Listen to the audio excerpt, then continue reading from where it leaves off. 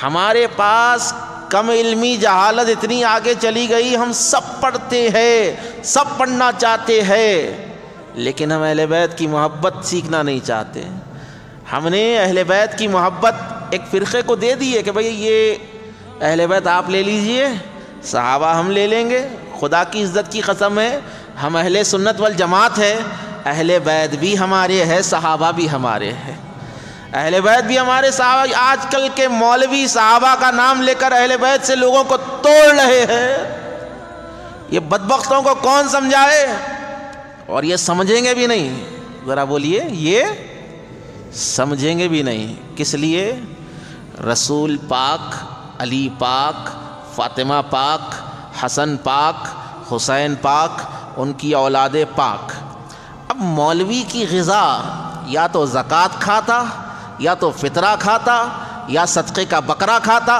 जी, ये सदक़ा, फितरा, ज़क़़त पे पलने वाला, आलूदा कल्ब वाला मौलवी सैदा फ़ातिमा की तहारत को कैसे समझ सकता?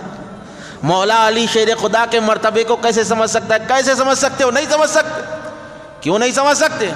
फ़ातिमा तो जहरा कौन है? सैदाए कायनात कौन है?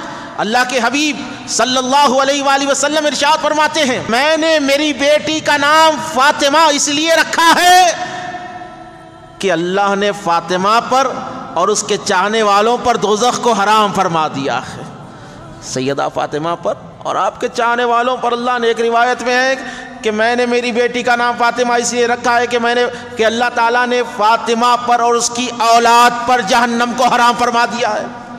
ये मकाम, ये मर्तबा जिससे मोहब्बत करने वाले दो में नहीं जाएँगे, जिससे इश्क करने वाले, जिससे मोहब्बत करने वाले, जिसका अदब करने वाले, जिसकी याद पर जीने वाले जहन्नम में नहीं जाएँगे।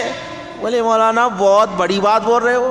बोले, हस्ती इतनी बड़ी है जिसको रसूलुल्लाह ने सईदत आलमीन कहा, सारे आलमीन की औरतों की मल्लिका कहा, वो सैयदा फातिमा की ज़ात है।